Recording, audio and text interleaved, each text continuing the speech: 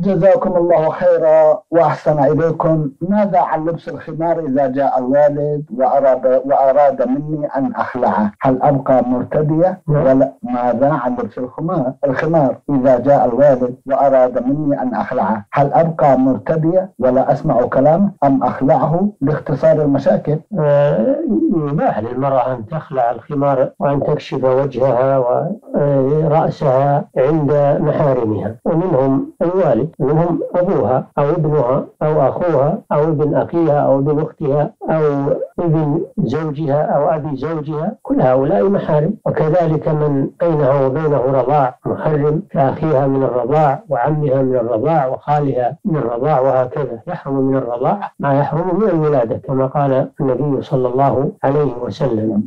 نعم.